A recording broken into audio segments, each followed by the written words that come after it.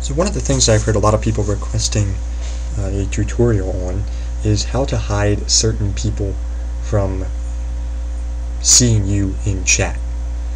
So if you log into Facebook and on the left side you click on lists, you'll see all the lists that you have. We're going to create a new list and we're going to call it not in chat. Okay, uh, once that list is created, you're going to go down to the right side, uh, log into chat, and click on the little gear icon and click limit availability. Then you're going to click the little drop down menu and you're going to choose make me unavailable to and then select not in chat.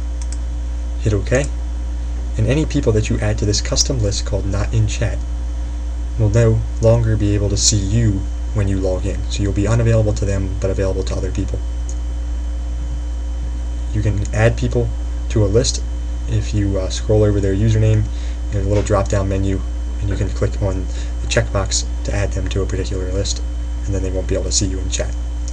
As always, any questions, leave them in the comments, and thanks for watching.